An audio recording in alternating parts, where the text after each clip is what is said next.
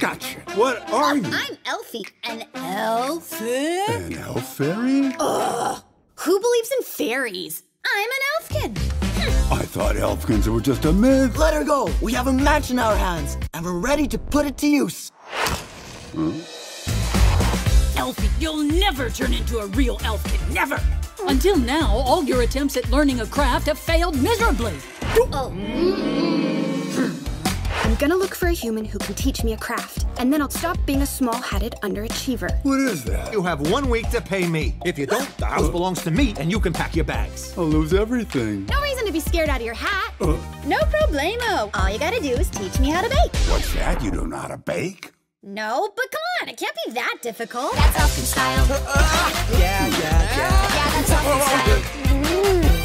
Oh. I'll put it out the drop of a hat. Yeah, yeah, that's elfkin style. Never heard of it. No, don't! Oh, no! Hmm. Yet another problem solved with Smush. Helping is our true purpose. we Elfkins are the only ones who can save the bakery. Looks good. You stubborn old mule! Don't do it! Fart rocket, ready for takeoff! The Elfkins, baking a difference. What does this thing do?